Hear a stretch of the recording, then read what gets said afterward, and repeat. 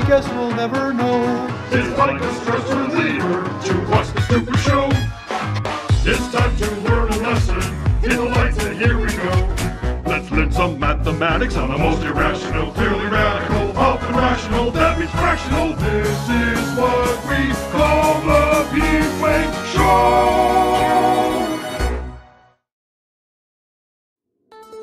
This is WADE News with your hosts, Peter Barker and Hemi Faye Baker.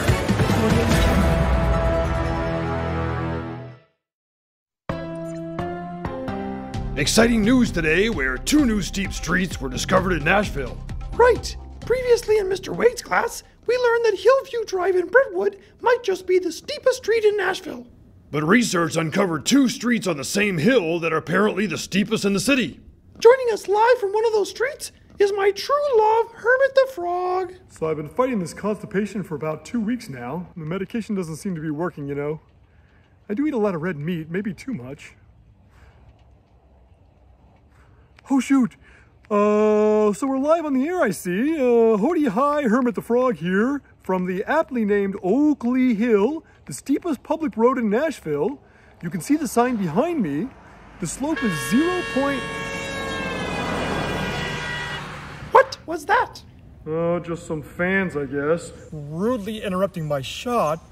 Anywho, the slope is 0.23, which is an astonishing 34% steeper than Hillview Drive. Hermit, can you tell us what the steepest road is? Yes, Peter. On the other side of this hill is Sassafras Place, a private road, and...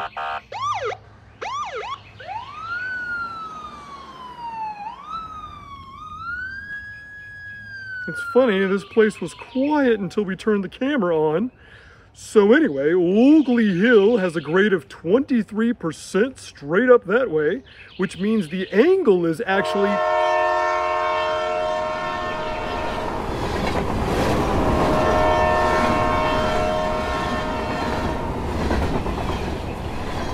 The angle of this road is actually 13 degrees, as you can see in this diagram here. So every 100 feet you drive, how far does your car actually rise above sea level? Sounds like a simple trig problem. Sure, opposite over hypotenuse is sine, which means the sine of 13 is x over 100. Then all you have to do is multiply both sides by 100. Are you kidding me? Multiply both sides by 100, as I was saying, and you'll have the answer. So let's type this into a calculator for the answer. So 13, 1, 3, sine of that is about 0.225 times 100, so that's 100, enter, there's our answer.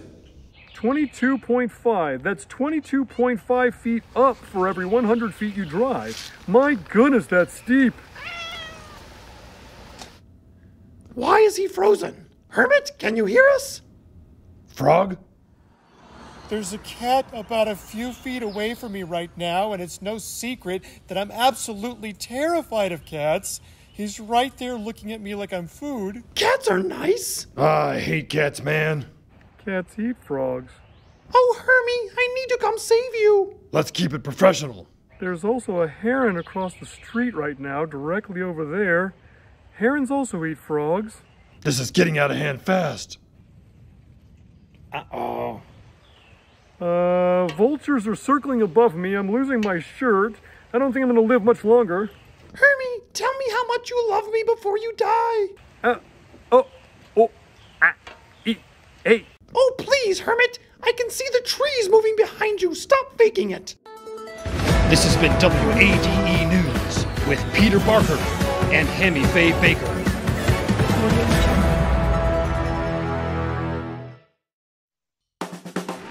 Welcome back to the show with your host, Hermit the Frog. Special guest tonight, Samuel L. Jackson. With the music of Ed Sheeran.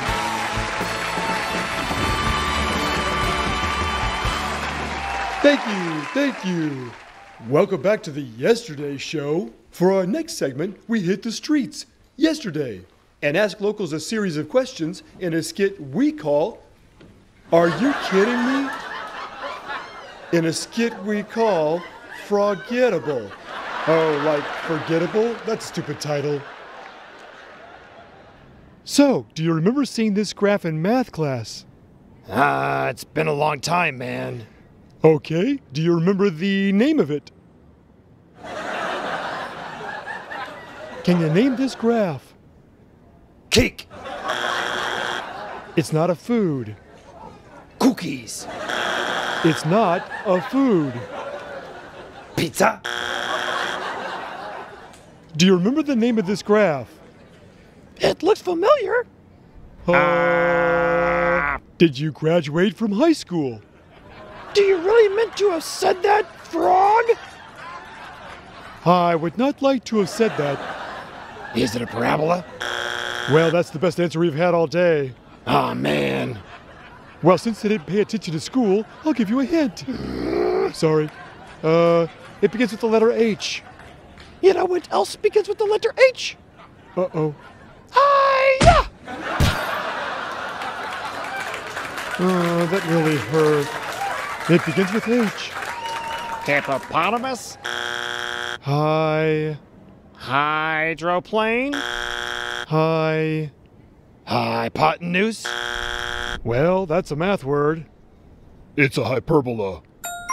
Yes. Somebody finally got the answer right.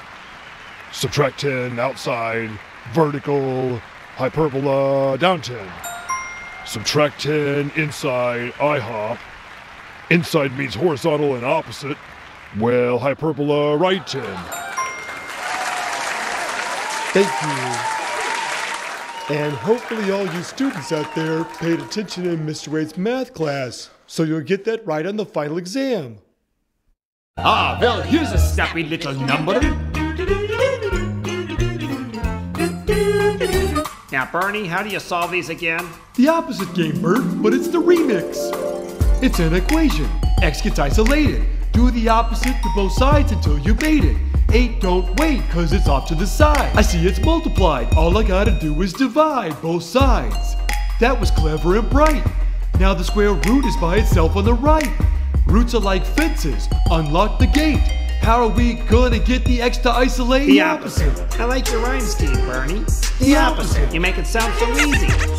The opposite. We've got a new trick today. All right. Just do what you can do. Square roots go away when you square. Put a second power way up high in the air. Lose that 2 on the right with the cosine. Just divide it out over 2. I can show mine. What cancels cosine? You heard it here first. It's a little function called cosine inverse. Second button, that's where inverse cosine is hiding. And now the final answer is what I'm gonna be writing. Just pushing the right buttons on the calculator. The opposite. It's so easy, anybody can do it. The opposite. Oh, double P, it's the opposite. Just do what you can do. Do, do, do, do, do. The The opposite. opposite. Missing someone.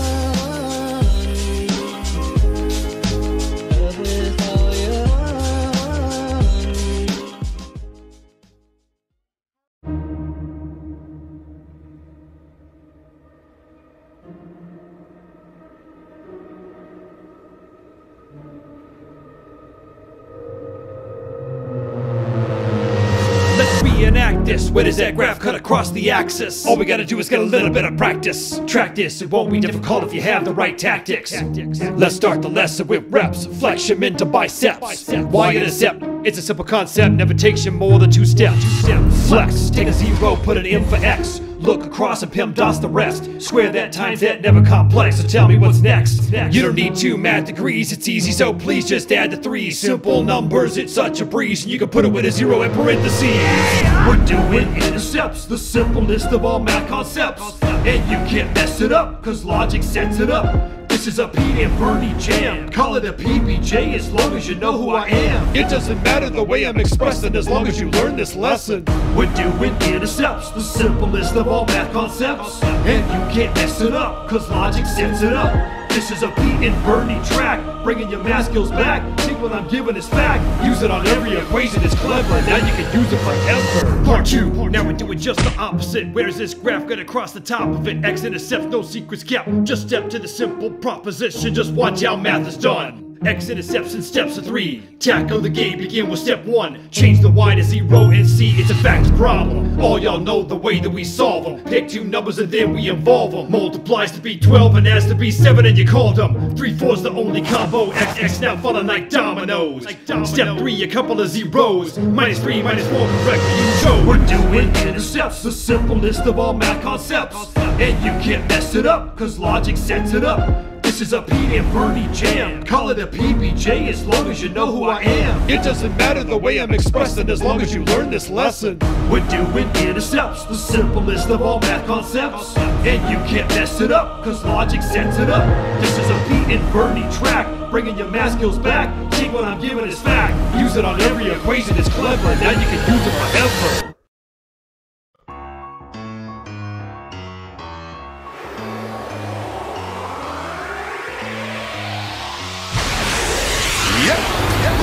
We use log. The world of logarithm. We wrote some clever lyrics to a funky drum rhythm. Calculators do logs. I better grab it. Hiya! Base B! It doesn't even have it! Base B down. Log, just drop it. Power of two. Now you can't stop it. Sure can't. Don't forget, 64 is up there. Well, great. That's eight. Just another perfect square. We use log. Not that kind of log. Cause I'm a smart frog. I don't stay in a fog. And I'm a smart dog. I'm never stuck in a bog. And I'm a smart hog! This is a memory jog!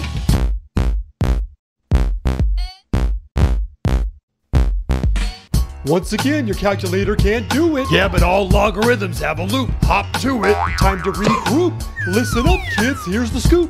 Cause every logarithm's got a loop. Two, that's the base! You take it to the third! And now you put it equal to the x that occurred. That's two and two and two all multiply. well, that's two and four and eight on the right side. We use log. Not that kind of log. Cause I'm a smart frog. I don't stay in a fog. And I'm a smart dog. I'm never stuck in a bog. And I'm a smart hog! This is a memory jog!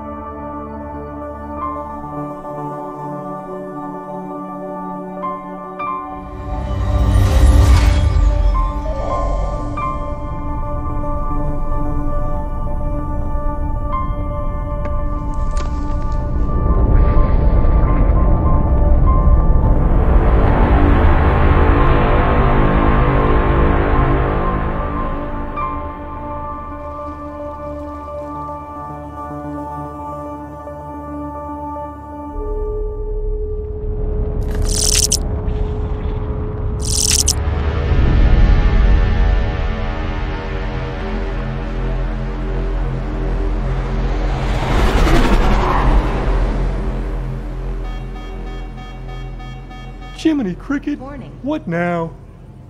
Warning. Warning. It's always something with this spaceship. Captain Baker, come in. Captain Baker reporting! Yeah, we got a situation. I'm kinda busy, Frog! We've got a loose window out here in Corridor A12! Lieutenant Barker, come in! Baker, this is Barker. Barker, this is Baker. Report to the cockpit ASAP. See what Frog wants. I'll be there in a second. Roger. Entry scan. Peter Barker.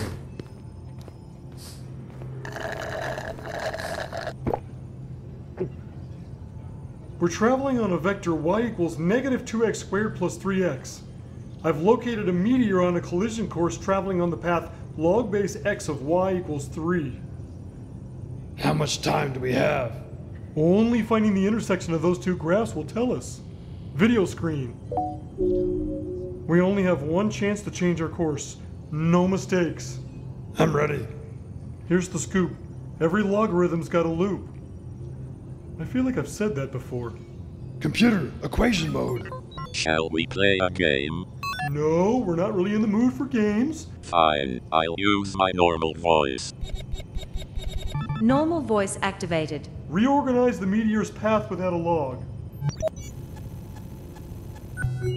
Now find the intersection between the two paths. Setting equations equal. Your move. Two or more types of x. My high school teacher, Mr. Wade, used to remind us to get these cases equal to zero. That's the only way out. Let's move the x cubed over. No, always keep the strongest term positive, man. Move all that stuff on the left side. Peter, you're a lifesaver. Entry scan. Hanny Faye Baker. We're on a collision course with a meteor. How much time? We're solving the equation now. Computer, relocate negative 2x squared plus 3x to the right side. Relocating. Entry scan. Count spatula. What's new? Well, we're kinda heading for a meteor. Every time I walk in this room, it's bad news. So much for the stroganoff I've been simmering for six hours. Is it me, or did Spatula turn into Christopher Walken? We need to focus on this equation. It's real tricky. Take out the GCF. It's so much easier. Yeah, computer, remove the GCF. GCF identified as 1x. Removing. Oh, factor, factor. It's a factor problem. Yes, two things that multiply to be negative 3, but add to be 2. Well, negative 3 times 1 is negative 3. Right on, Frog. Computer. Wait! Negative 3 plus 1 is not positive 2? Switch the signs. Positive 3 times negative 1 is negative 3, but also adds to be 2. That was real close. Computer, factor using 3 and negative 1. Reverse foil enabled. Now find solutions by setting each group equal to 0. Solving. Well, that's it. Nope. We need y coordinates, guys. Oh yeah, computer. Plug in the x values to either one of the equations. Well, the x means we've got one minute. And the y means we're only one mile away. Warning. What in the Sam Hill is that? The emergency destruct system is now. Self destruct mode. We've crossed the one mile barrier. The ship is trying to destroy itself before the meteor does. To the escape pods! Lieutenant Barker, clear? Lieutenant Barker, clear. Lieutenant Spatula, clear? I'm so clear you could call me Scotch Tape. Captain Baker, clear? Captain Baker still on board. Baker, get in a pod and abandon immediately. Order denied. Your pod is leaking fuel, Hermit. If I don't stay on board and close the door, it will kill you and explode everything. Captain Baker, don't worry about me. Abandon ship. No, Hermie, it must be this way. I thought this was supposed to be a comedy show. Who wrote this script anyway? Nine, eight, seven, six, five, four, three, two, one.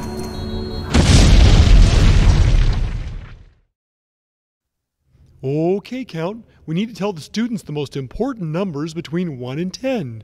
What better person to count those off than Count Spatula? Yes, Hermit, this is an excellent idea. Okay, boys, give me a funky beat.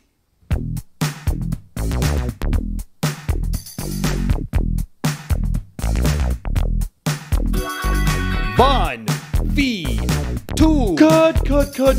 Count Spatula, what kind of a number is phi? Irrational. I'm not being irrational. You're being irrational. No, the number is irrational. It's a decimal that never repeats. Phi is about 1.6. You may have heard of the golden ratio, which is what this is. All right, all right, I'll allow it. Okay, places everyone, and roll camera.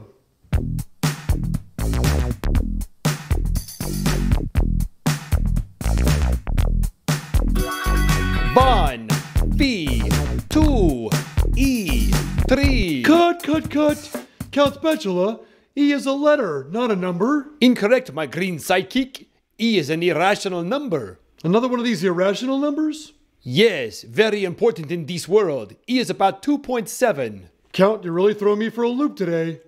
Okay, everyone, places and roll camera.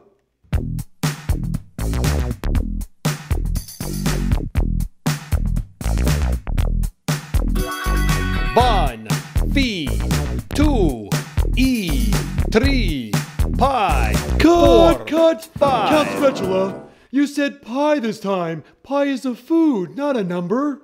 Hermit, we need to review your math skills. Let me guess, pi is an irrational number too? Yes, but it's spelled P-I. It's about 3.14. All right, from the top, and roll camera.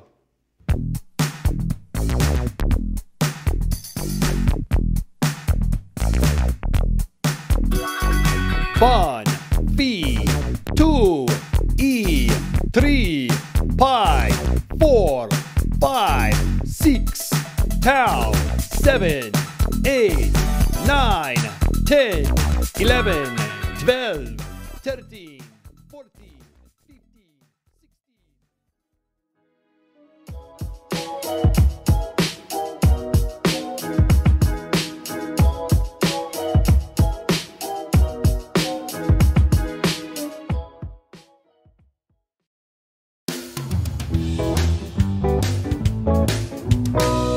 Right, everybody, I'd like to call this meeting to order as the chairman of the Pete Wade Show.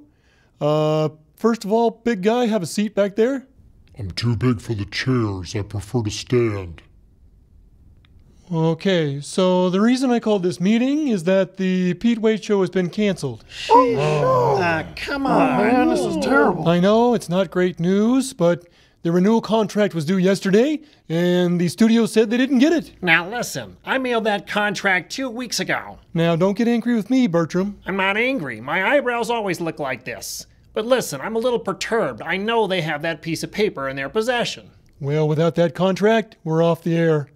I always thought it was going to be a copyright violation that got us. Why don't we just break in the studio? I don't like where this is going. Maybe the big fella has a point here. We sneak in, find the contract because we know it's there, put it on their front desk, they find it in the paperwork, and say, oh, it was here all along. Well, it's not a half bad idea, I guess. But we would need three volunteers to pull this off. Ooh, me want to break in. I'll do it too, Hermit. Well, this is going to be a disaster without some brain power there.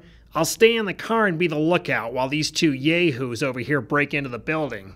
Bertram, Bernie, Cake Monster, let's get this show back on the air.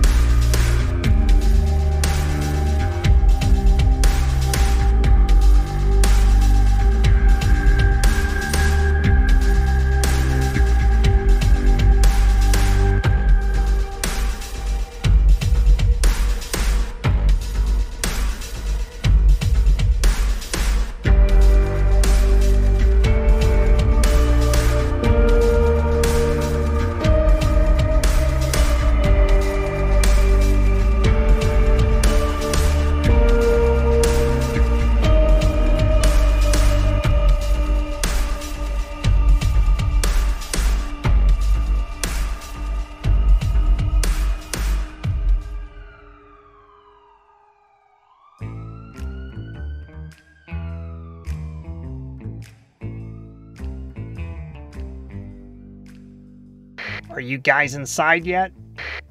Yes, indeed, Bertram. Hey, careful with the first name. We don't know who's listening to this channel. Code names only. Oops, sorry, Bert. That's not a code name. I'm Yellow Fox, remember? Oh, yeah, oh, yeah. Sorry, Yellow Fox. My code name is Slowburn. Burn. Uh, slow burn, that's too close to your real name. And my code name is Monster. You guys. Uh, never mind. Just listen closely. According to this blueprint, it looks like the office is 135 degrees from your current location. Yeah, we don't know what that means. Okay, 180 minus 135 is 45 degrees. That's called a reference angle. Oh, yeah, and every triangle has 180 degrees, so it must be a 45, 45, 90. The problem is the hypotenuse goes right through the wall, and you guys can't walk through walls. So you're going to have to walk 20 feet down the hall and make a right.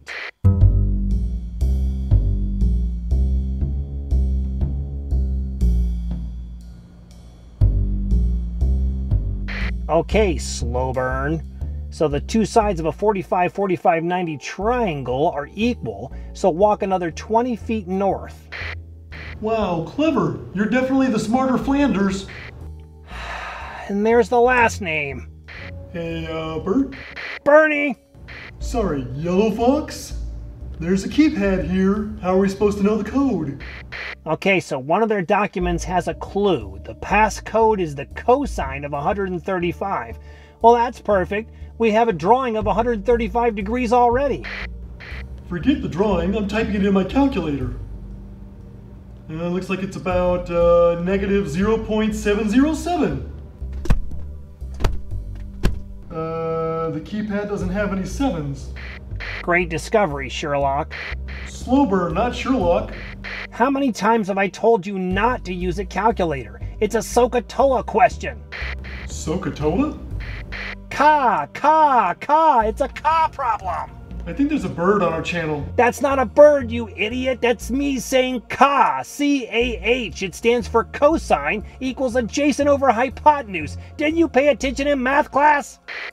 Oh, yeah, I remember this. So cosine of 135 is adjacent over hypotenuse, which is 20 over the hypotenuse we don't know. Right, but we do know it's a 45, 45, 90 triangle. The hypotenuse is the side times the square root of 2. It's a known fact. So it's 20 times square root of 2. So it's adjacent over hypotenuse, which is 20 over 20 square root of 2. And the 20s cancel. Okay, so we've established that it's 1 over square root of 2, right? Can you type that in without messing it up? Sure thing, Bert. Now don't type it in wrong or you'll set off the alarm. I know, I know. 1 divided by square root of 2 and enter. Wait, wait, I just discovered a mistake. Don't hit enter, don't hit enter, hit clear, hit clear. Wait, how did we mess up, Bert? On the drawing, the adjacent is left. That means it's negative. So it's negative 1 over square root of 2. Oh, yeah, good call, Bert. I really wish you'd stop using my name. Access granted. Okay, we're in, we're in. Was that you? I think so.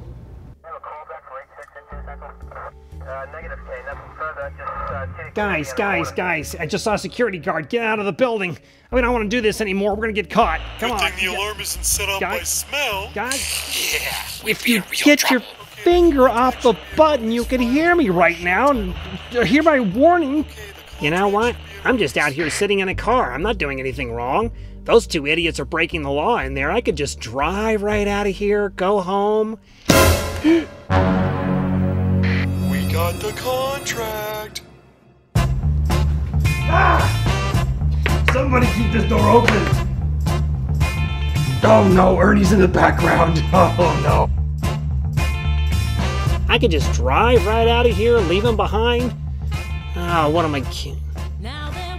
You know what? I'm. Oh, gosh. Hey, careful with the first names. We don't know. Hey, careful with the first names. We don't know who's listening to this. Hey, careful with the first name. We don't know who's listening to this. According to this blueprint, Looks like the office is... The problem is the hypotenuse goes right through the... Golly!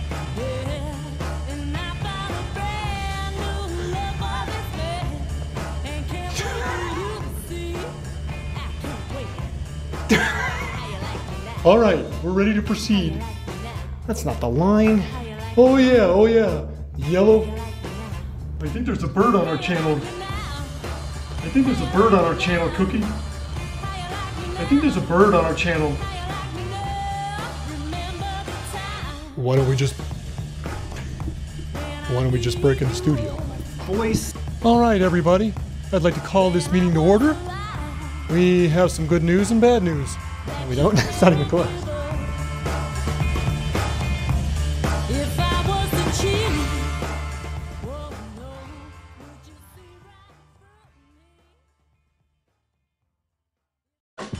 Exciting news today. We're two new steep streets.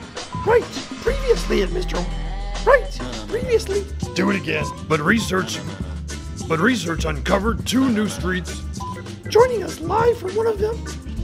Joining us. Sure, opposite over hypotenuse is sine, which means in this case, sure, opposite over hypotenuse is sine, which means in this case, Oh, please, Hermit. Oh, please, Hermit. Oh, please, Hermit. 34 points or 34 in Hillview Drive. I would not like. Oh, trying to get hyperbola down, Ted.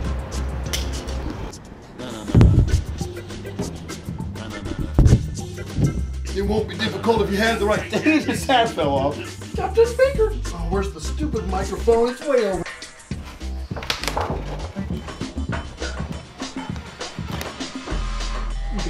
The other way.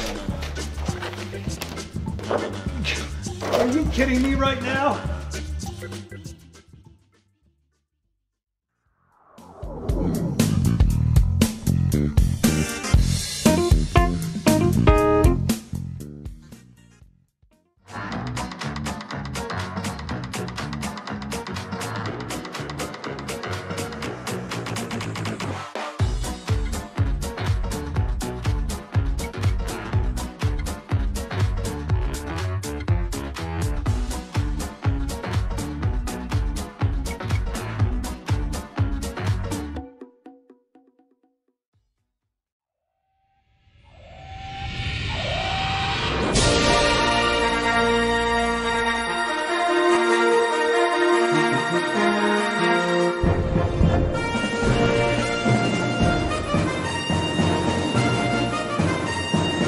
We got a situation.